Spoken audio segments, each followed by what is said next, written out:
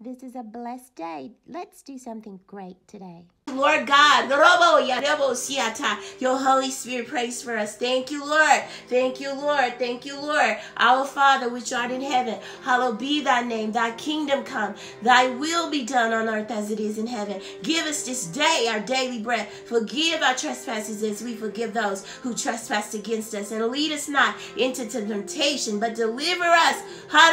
Deliver us from evil. For thine is the kingdom and the power and the glory forever and ever. In the name of the Lord Jesus, in the name of Yeshua, we bow and pray. Hallelujah. Glory to God. Bless the Lord. Glory to God. This prayer, this prayer broadcast is one that we rely on the Holy Spirit to go forth for us because God says in His Word, Christ is in us, the hope of glory. So praying in the Holy Spirit, God says when we pray in the Holy Spirit, He makes intercessions for us. He meets our supplication and He prays for us. Yes, He prays for us in our weakness of not knowing what or how we should pray. And we welcome the Holy Spirit to pray for us today.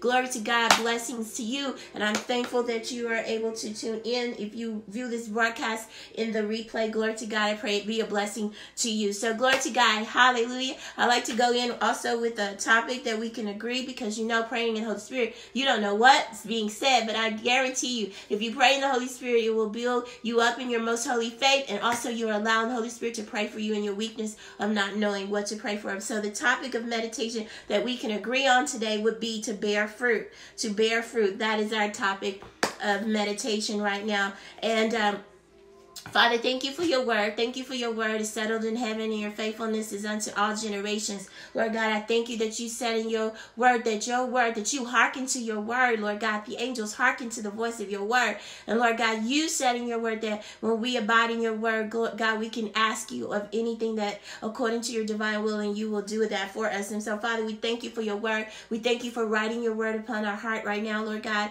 In the name of Jesus, we receive. We receive from you, Lord God. We receive. We know know that is by it's a gift of grace. And thank you for the unction from the power of the Holy Spirit so that we can go forth to do your word. You said to hear, but also to do. Glory to God. So we're able to uh, allow you to work in us, to will to do your good pleasure. So in Jesus' name, to bear fruit. Yes. So that's our topic of meditation today. Would be to bear fruit. I would also like to you know, from this day on, let's just go from this day, forgetting those things that are behind and pressing on, on into the things of God and knowing that whatever that you've done in your past, you can't change the things that you've done in your past, but you can go forth from this moment on. A lot of us, you know, when, when you know, that's why we, we ask that we we were really on here compelling that people come to the Lord Jesus. Even in your young age, it's okay to come to the Lord. But sometimes you in your younger age or whatever, you didn't really have an ear to hear the things that Holy Spirit is saying. And so now in this time, in this season, you have an ear to hear. But then like some of us, you ask, you know, you wish you would have gotten it sooner. You know, you can look at the age and go, oh wow, what am how old am I?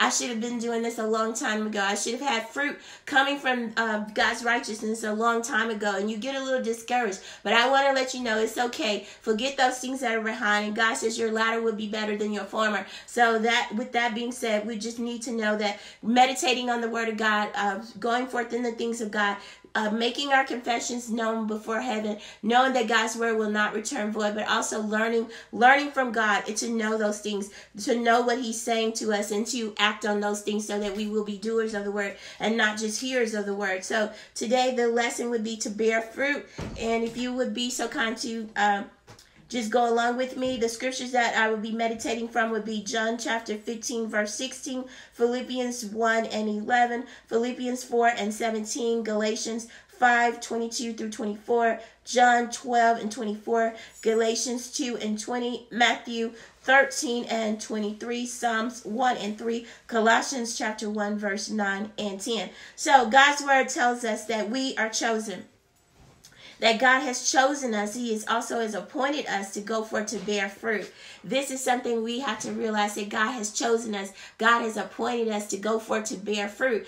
To bear fruit, you you ask, how do I bear fruit? Well, one must also be crucified in order to bear fruit. We have to be crucified, and the Word of God says that we are crucified in Christ. Nevertheless, we live. Yet it's not us who live, but it's Christ who liveth in us. And the life we now live in this body, we live by the faith of the Son of God, who the faith of the Son of God who loved us and gave gave himself for us. So our, our minds have to be renewed. Our minds have to be renewed to the word of God to know what God's word says. And also when we hear the unction from the Holy Spirit, hear the unction from the word of God to step out and do what God is saying and to know that God is with us and to know that God will never leave us nor forsake us and God is with us holding us up as we can remember when Peter was walking on the water listening to the heat of God saying come forth and when he got out the boat he began to walk on the water and when he got his eyes off of the Lord he began to sink and then he cried out to the Lord Lord save me. And the Lord did just that. He lifted him up and saved him from drowning. But then he said to him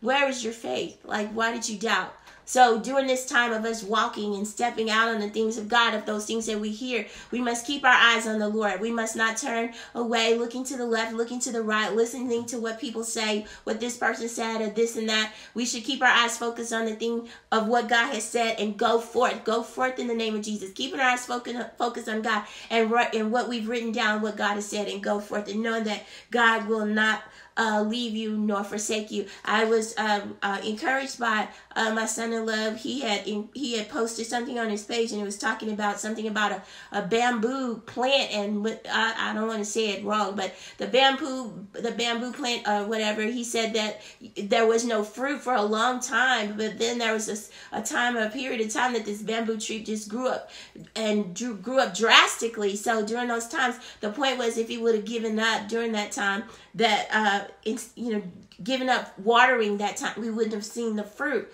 We wouldn't have seen that bamboo tree uh, sprout up. But we are reminded that the word of god is water. The word of god is uh, living water. And god is the one that waters us. And if we don't go forth in his word every day being uh, nurtured and being uh, uh, you know quickened by the power of the holy spirit we can uh, you know just go on thinking oh wow i don't see anything. And then you get you get weak from not being in his presence, but you get strong when you are in his presence. So that is also an encouragement to continue to go forth in the word of God, but also knowing that you must be crucified. We have to be crucified daily so the Holy Spirit can go forth in us. And our mind has to be renewed to what the word of God is saying. And we have to have our minds renewed. I gave an example of that when I talked about horoscopes before and how I was one that would look at the horoscopes and thought about the horoscopes at that time. But then when I got in the word of God and I saw that horoscopes were were were an abomination to the Lord and he wasn't pleased with horoscopes, I had to give that up, you know. And there are some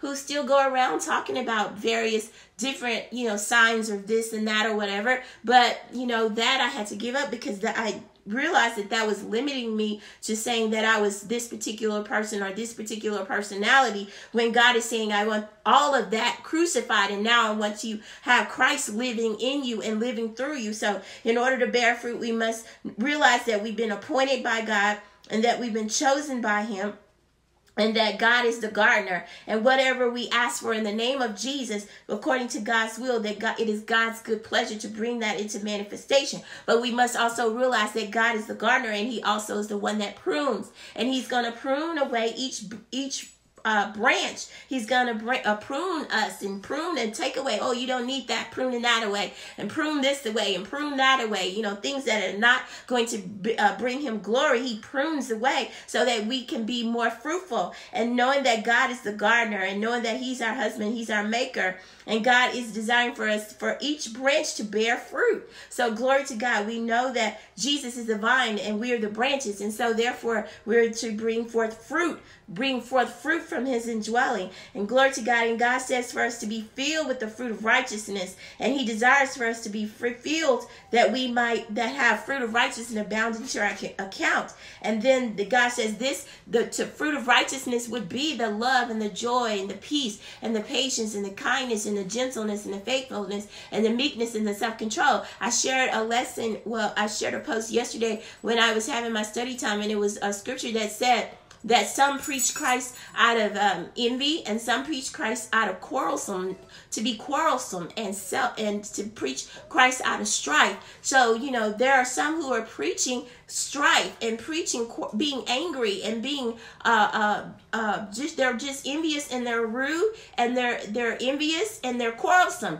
and that is their message every day they get on their their site they get on their post and they get on their wherever they they go and they are preaching that they're angry and they're preaching against people instead of preaching Christ. And they, they wake up with an attitude and they go and they share their attitude uh, uh, before God's people. And they're preaching out of quarrelsome, quarrelsome spirit and that is not god. So to know that the love of god the love that is preached is love and joy and peace and patience and kindness and gentleness and faithfulness and meekness and self-control. And that is the fruit from the holy spirit. Someone who's just having a bitter angry attitude towards someone just because they don't like a person and they be going they feel like they gonna now use god's name to go tear down people and just constantly be in a quarrelsome uh, rude uh, manner and they think that's christ. No that's not Christ. And so God is saying for us to preach out of love, preach out the motivation of Christ, preach out the spirit of Christ, that it is about Jesus, it's about his love, it's about us coming to a place and knowing that we're crucified and it's no longer us, but now it's Christ living through us. So preaching out of uh, the uh, the Holy Spirit unction, preaching where we know that those can receive the word not as it is, not words of men, but words of God as it is the word of God and not words of men. So that is what God is telling us to do to to put away all the quarrelsome and the strife and the envy, but to know that that is not that is not giving you brownie points. That's not giving you brownie points when you go and you just say, "Oh, I'm going to preach against this." You know, I'm going to preach and talk about people. No, it's not about the people. It's about Christ. So glory to God. The Word of God says we preach Christ and not ourselves. So let's know that the, God is the gardener and God is going to prune away each branch that does not bear fruit. So God is saying for us to be more fruitful. Glory to God. And so God is saying that we are filled with fruits of righteousness and that this uh, our account may abound. So glory to God. Therefore I commit we are to commit our way to the Lord the Lord Jesus, so that we will be able to be moved in the spirit of love, the spirit of joy, the spirit of peace, the spirit of long suffering, gentleness, goodness, faithfulness, meekness, and self control. Self control. And so, in with that being said, we are to renounce and reject and turn from everything having to do with the flesh and the fruit of thereof of the flesh, and to know that we belong to Christ and that we're crucified, and again that we are to crucify the affections and the lust that goes along with the flesh, that we may bear more fruit according to the Holy Spirit. And so that would be fruit of the Holy Spirit in love. So knowing that and in, in understanding that to know that we are to be good ground. we are to be good ground. Glory to God. Good ground yielding and bearing fruit. Good ground. Glory to God. Good ground. Knowing that God has breathed on us and quickened us. Glory to God. Quickened us with the power of the Holy Spirit to preach Christ and not ourselves. So glory to God. Good ground. And that when we hear the word of God, we pray for understanding and pray that the word of God will bear fruit in our lives. And you know, God says in his word that the, the word of God will uh, bear fruit a hundred, sometimes a hundred fold, sometimes 60, sometimes 30 30.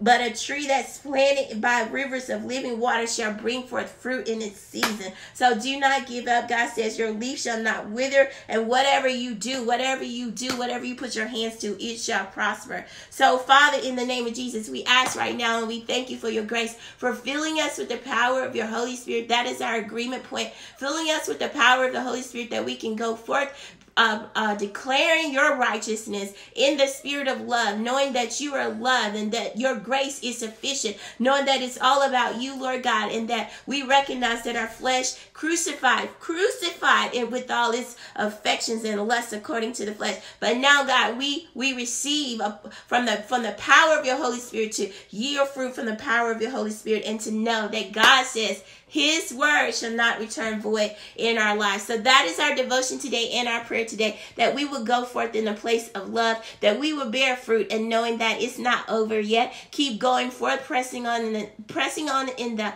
high calling in Christ Jesus, knowing that you are chosen, knowing that God has put his hand upon you, he's put his name upon you, he's put his Holy Spirit to seal you, and know that God loves you with an everlasting love. So to be Blessed, be blessed. You are blessed to be a blessing and make this an awesome blossom day, knowing that God loves you with an everlasting love. Know that Jesus is Lord and Jesus lives big on the inside of you. Christ in you, the hope of glory. So be blessed.